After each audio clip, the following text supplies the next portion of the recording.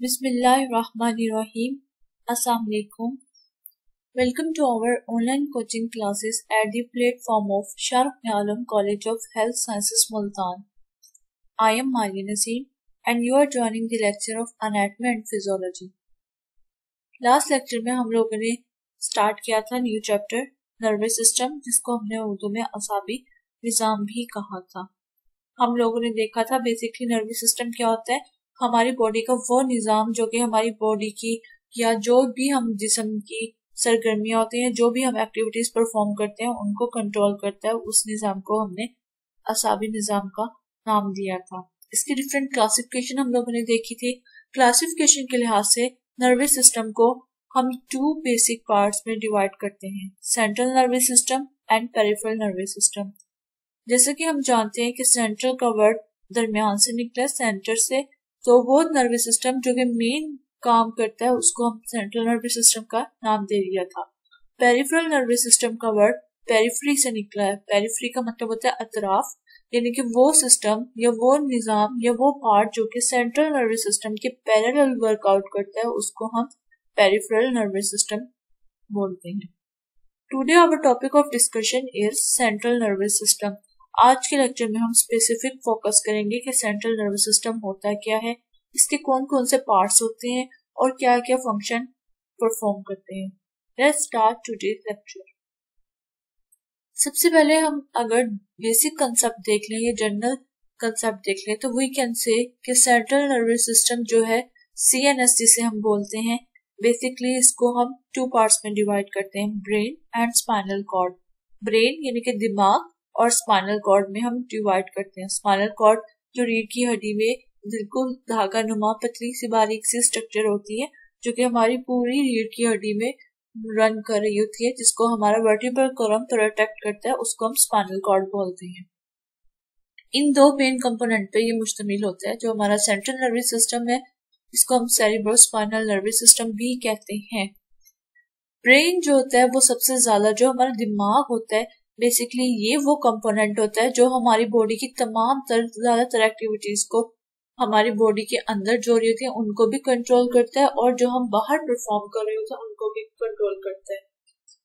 जैसे कि हम किसी चीज़ के बारे में सोचते हैं मूव करते हैं, हरकत करते हैं सूंघते हैं, देखते हैं टच करते हैं, बोलते हैं, या कुछ रिकॉल करने की कोशिश करते हैं, याद करते हैं ये सारी की सारी जितनी भी एक्टिविटीज़ होती है, इनको हमारा ब्रेन कंट्रोल कर रहा होता है।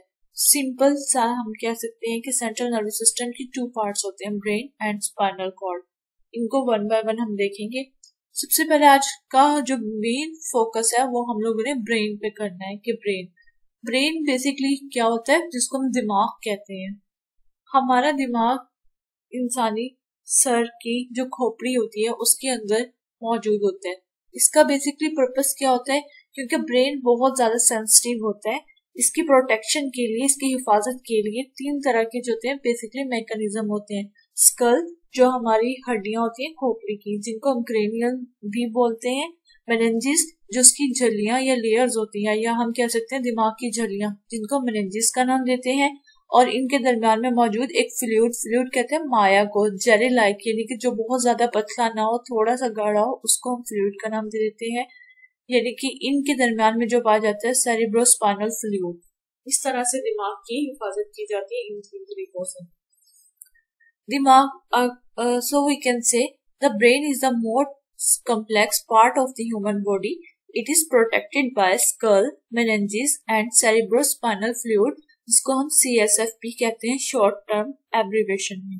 यानी कि हमारा दिमाग जो है, उसको हम स्कल स्कल में बेसिकली हड्डियाँ होती हैं क्रेनियम उसके ज़रिए प्रोटेक्ट करते हैं, और मेरेंजिस जो उसके इर्द गिर्द होती हैं, और थ्री होती है meninges pia mater dura mater and arachnoid इन तीन मेरेंजिस के ज़रिए जो है, हमारी बोन्स या हम, या जो हमारा ब्रेन है, उसकी प्रोटेक्शन हो रही होती है और सेरिब्रोस्पाइनल फ्लूड हमारी मेनेंजिस के दरमियान में मौजूद होता है, जो कि हमारे ब्रेन की प्रोटेक्शन करता है।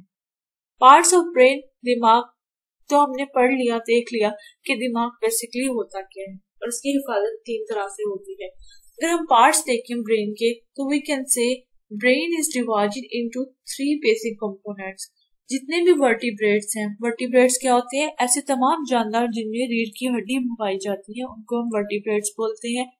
तमाम वर्टिब्रेट्स में ब्रेन थ्री टाइप्स में या थ्री पार्ट्स में डिवाइड किया जाता है। Forebrain midbrain and hindbrain fore का मतलब होता है आगे की तरफ़ मिड का मतलब होता है दरमियान वाला एंड हाइड का मतलब होता है पीछे वाला। यानी कि हम दिमाग को तीन हिस्सों में तकसीम कर देते हैं, आगे वाला, दरमियान वाला और पीछे वाला। सबसे पहले हम इनके भी आगे फर्दर पार्ट्स होते हैं और जो कि फर्दर फ़ंक्शन परफॉर्म कर रहे होते हैं, क्योंकि हमारा दिमाग ने, हमारी तमाम तरह एक्टिविटीज़ परफॉर्म जो हम कर रहे हैं, उनको कंट्रोल करना है। तो ज़ाहिर सी बात है, हमारी बॉडी का कोई एक काम थोड़ी है। हमारी बॉडी के बहुत सारे काम है, हम बहुत सारी सरगर्मियों में एट अ टाइम इन्वॉल्व होते हैं। तो उन तमाम को बॉडी का ब्रेन का कोई एक पार्ट जो है, वो किस तरह से कंट्रोल करता है, इसलिए जो डिफरेंट पार्ट्स में इसको डिवाइड करते हैं। फॉर ब्रेन सबसे पहला, यानी कि आगे वाला और मेजर पार्ट होता है नर्वस सिस्टम का, या ब्रेन का, हम कह सकते हैं। उसको आज हम देखते हैं आज के लेक्चर में। फोर ब्रेन यानी कि आगे वाला दिमाग। The forebrain is the largest and most highly developed part of the human brain जो फोर ब्रेन होता है, ये सबसे बड़ा और सबसे ज़्यादा डिवेलप डिवेलप कहते हैं कि मतलब जो सबसे ज़्यादा इसके अंदर डिवेलपमेंट हो चुकी होती है, वो वाला पार्ट होता है हमारी बॉडी का ह्यूमन ब्रेन का। It consist primarily of basically ये थ्री कंपोनेंट्स पे डिफरेंट कंसिस्ट करता है सेरिब्रम थैलेमस एंड हाइपोथैलेमस लेकिन बास बुक्स में इसको पाँच जगहों पे भी जो है वो मेंशन किया गया है। वो फाइव प्लेसेस कैसे हैं, उनके बारे में भी मैं आपको बताऊँगी, लेकिन आप लोगों ने याद रखना है, जो हमारा फोर ब्रेन है, उसको बेसिकली थ्री जो है स्ट्रक्चर्स में हम डिवाइड करते हैं सेरिब्रम थैलेमस एंड हाइपोथैलेमस इसके अलावा जो है सेरिब्रम में भी आगे कुछ फर्दर स्ट्रक्चर्स आ जाती हैं। उनको भी हम डिटेल में डिस्कस करेंगे कि कौन कौन सी आती हैं। जैसे कि हिपोकैम्पस आता है और इसके अलावा ऑल्फैक्ट्री बल्ब आता है, ठीक है? इस तरह की जो होती है, ये बेसिकली थ्री मेन पार्ट्स में हम इसको डिवाइड करते हैं। और hippo hippocampus olfactory bulb amygdala ये तमाम के तमाम जो होते हैं फ़र्स्ट टू पार्ट जो है, इसमें आते हैं सेरिब्रम में। और लास्ट वाला पार्ट जो होता है वो सेपरेट होता है। इसके अलावा पिचोट्री ग्लैंड को भी जो है वो फोर ब्रेन में कंसिडर किया जाता है। लेकिन pituitary gland is the part of endocrine system वो हम एंडोक्राइन सिस्टम में डिटेल से पढ़ेंगे। लेकिन आप लोगों ने मेंशन करना है कि पिचोट्री ग्लैंड भी जो हमारा फोर ब्रेन है, उसमें प्रेजेंट होता है, मौजूद होता है, जहाँ से मुख्य किस्म के हार्मोन्स जैसे कि हमारी ग्रोथ हार्मोन हम लोगों को क्लास में मैंने बताया था, हमारी बॉडी में ग्रोथ हार्मोन होते हैं, जिसकी वजह से हमारी जो होती है अडल्ट तक अडल्ट जो हमारी अडल्ट एज होती है, तब तक हमारी ग्रोथ हो रही होती है डेवलपमेंट होती है, इस तरीके से। तो अब हम देख लेते हैं डायग्राम अनाटमी के लिहाज से। सिंपल ये ब्रेन की डायग्राम है, जो ये बेसिकली बड़ा पार्ट दिख रहा है, ये फोर ब्रेन को शो कर रहा है। फोर ब्रेन में जो होती है फोल्ड्स होती हैं बेसिकली जो बाहर वाला पार्ट होता है, इसको, इस वाले पार्ट को हम कॉर्टेक्स बोलते हैं, अंदर वाला पार्ट जो होता है वो मिडोला क्लापनी कॉर्टिक्स जो होता है, वो बेसिकली माइलिन के बगैर वाली एक्सॉन पे कंसिस्ट करता है। इसके ऊपर फोल्ड्स होती हैं। फोल्ड्स क्यों होती हैं? क्योंकि कॉर्टिक्स जो होता है, इसका सरफेस एरिया यानी कि सतह बड़ी होती है। तो उसको, जैसे तो उसको ताकि वो दिमाग में हमारे कम, ताकि वो कम जगह घेरे स्कल में खोपड़ी के अंदर। तो इसलिए फोल्ड मौजूद होती है। जिसकी वजह से जो है ये फोल्ड लाइक स्ट्रक्चर दिख रहा होता है दे रहा होता है। इसकी जो बैरूनी लेयर होती है, बाहर वाली लाइनिंग कॉर्टेक्स की, ठीक है? सेरिब्रम की बाहर वाली, इसको हम कॉर्टेक्स बोलते हैं और अंदर वाली को मेजोला कहते हैं। बेसिकली जो हमारा सेरिब्रम होता है, इसमें चार लॉब्स मौजूद होते हैं frontal limbic parental and occipital lobes चार लॉब्स मौजूद होते हैं। इसके अलावा जैसे कि मैंने आप लोगों को बताया कि हमारे फोर ब्रेन के आप लोगों ने थ्री जो मेन कंपोनेंट्स हैं, उनको याद रखना है। सेरिब्रम थैलेमस एंड हाइपोथैलेमस बाकी इसके रिमेनिंग पार्ट्स हैं, उनको हम वन बाय वन डिस्कस करते रहेंगे। सबसे पहला पार्ट अगर हम देखते हैं, ये हमारा हो गया सेरिब्रम ठीक है? बाहर वाला पार्ट हमारा हो जाएगा कॉर्टेक्स अंदर वाला मेजोला हो जाएगा अगर हम फर्दर इसको देखते हैं तो वी कैन से अब आप लोगों ने इसको लिखना कैसे है? सबसे पहले तो आप लोग लिखेंगे, अगर आ जाए आप लोगों के पास एक क्वेश्चन सबसे पहले तो आप सिंपल आप बताएँगे कि नर्वस सिस्टम का सबसे बड़ा हिस्सा सेंट्रल नर्वस सिस्टम होता है, दिमाग और स्पाइनल कॉर्ड दोनों पे मुश्तमिल होता है। फिर देन आप आप ब्रेन से, यानी कि दिमाग के बारे में लिखना स्टार्ट करेंगे तो इंसानी जिसम की जितनी भी एक्टिविटीज़ है या सरगर्मियाँ जिसको हम बोलते हैं, वो हमारा दिमाग कंट्रोल करता है। दिमाग एक नाजुक अजू होता है, जिसको कि थ्री बेसिक जो मैकेनिज्म हम लोगों ने पढ़े हैं, उनके बारे में आपने लिखना है कि जो हमारी खोपड़ी है, वो मेनेंजिस जो झलियाँ होती हैं लेयर्स होती हैं ब्रेन की वो और सेरिब्रोस्पाइनल फ्लूड ये कंट्रोल करते हैं। इसके बाद हमने दिमाग के हिस्से लिखने हैं कि दिमाग के तीन बड़े हिस्से होते हैं फोर ब्रेन मिड ब्रेन और हाइंड ब्रेन फोर ब्रेन के बारे में हमने लिखना है, फिर कि दिमाग का सबसे बड़ा और आगे वाला हिस्सा फोर ब्रेन कहलाता है, इसको मजीद हिस्सों में तकसीम किया जाता है। नेक्स्ट आप लोगों ने फिर स्टार्ट करना है सेरिब्रम से। सेरिब्रम क्या होता है? फोर ब्रेन का सबसे बड़ा और आगे वाला हिस्सा होता है, जो कि तह पर मुश्तमिल होता है, जिनको हमने फोल्ड्स का नाम दिया था, ठीक है? और इसकी बैरूनी तय को हम कॉर्टेक्स कहते हैं, जो कि ग्रे मैटर यानी कि एक्जोन ऐसे एक्जोन पे जो कि माइलन शीट पे कंसिस्ट करते हैं, मुश्तमिल होते हैं, उन पे, उनसे मिलके बनी होती है, जबकि अंदरूनी तय सफ़ेद या जिसको हम व्हाइट मैटर कहते हैं, उससे बनी हुई होती है। इसमें चार लोब्स मौजूद होते हैं अगर आप लोगों को नाम याद रहते हैं, तब आप लोगों ने नाम लिखने हैं अदरवाइज़ आप लोगों ने रॉन्ग या गलत नाम नहीं लिखने। इसमें चार लोब्स मौजूद होते हैं। सेरिब्रम को मजीद दो हिस्सों में तकसीम किया जाता है, जिन्हें हेमिस्फेयर कहा जाता है। जिस तरह से हेमिस्फेयर बेसिकली क्या होते हैं, अगर हम देखें तो हमारा जो ब्रेन है, अंदर से सेरिब्रम पार्ट है, जैसे बॉयस या आप लोग कॉम्बिंग करते हैं, यानी कि कंगा करते हैं तो बालों को दो हिस्सों में डिवाइड कर दिया जाता है। दरमियान में जो जिससे सिंपल बोलते हैं कि कुछ लाइन छोड़ के जिसको मांग कहते हैं, मांग निकाल देते हैं कि आधे बाल इस तरफ़ और आधे बाल इस तरफ़ पेन के लेफ़्ट हैंड राइट साइड पे कर लिए जाते हैं। इसी तरह सपोज़ कर लें, जो सेरिब्रम है इस तरह की दो कंपोनेंट पे, दो पार्ट्स पे जो है वो कंसिस्ट करता है यानी कि मुश्तमिल होता है। एक हिस्से को हम कहते हैं दाया हेमिस्फेयर और दूसरे को कहते हैं बाया हेमिस्फेयर हेमी का मतलब होता है हाफ़ आधा। स्फेयर बेसिकली जो जैसे हमारी अर्थ है, उस शेप को हम स्फेयर बोलते हैं। तो दाया और बाया हेमिस्फेयर जो सेरिब्रम के दो बेसिक पार्ट्स होते हैं। जो दाया हेमिस्फेयर है, ये हमारी बॉडी के बाएँ पार्ट को कंट्रोल करता है, यानी कि बाएँ पार्ट की जितनी भी हरकत हुआ रहा है और उनके अंदर जितनी एक्टिविटीज़ हो रही होती है, उनको कंट्रोल करेगा। इसी तरीके से जो हमारा बाया हेमिस्फेयर है या लेफ़्ट हेमिस्फेयर है, वो हमारी राइट साइड की जितनी भी एक्टिविटीज़ होती हैं, उनको कंट्रोल करता है। यानी कि जिग जैग ऐसे नहीं होगा कि राइट साइड जो है वो राइट को कंट्रोल करेगी और लेफ़्ट लेफ़्ट को। ऐसे नहीं होगा। जो लेफ़्ट साइड है वो राइट साइड को कंट्रोल करेगी और जो राइट हेमिस्फेयर है वो लेफ़्ट साइड को कंट्रोल करेगा हमारी बॉडी के। ये बात आप लोगों ने अच्छे से याद रखनी है। सेरिब्रम को मजीद दो हिस्सों में तकसीम किया जाता है, जिन्हें हेमिस्फेयर कहा जाता है, दाया हेमिस्फेयर और बाया हेमिस्फेयर दाया हेमिस्फेयर बाएँ हिस्से को, जबकि बाया हेमिस्फेयर जिसम के दाएँ हिस्से को कंट्रोल करता है। दिमाग का ये हिस्सा वॉलेंट्री हरकत। वॉलेंट्री हरकत वो हरकत होती है जिन पे हमारा अपना प्यार मौजूद होता है। यानी कि जिन जिन हम अपनी मर्ज़ी से जिसमें कर सकते हैं। जहानत, बोलना और सेंसरी मालूम हासिल करने में शामिल होता है। सेरिब्रम हमारा बेसिक कंपोनेंट्स होता है। उसके अलावा सेकंड नंबर पे जो हम लोगों ने इम्पोर्टेंट पढ़ा था, वो हम लोगों ने थैलेमस पढ़ा था।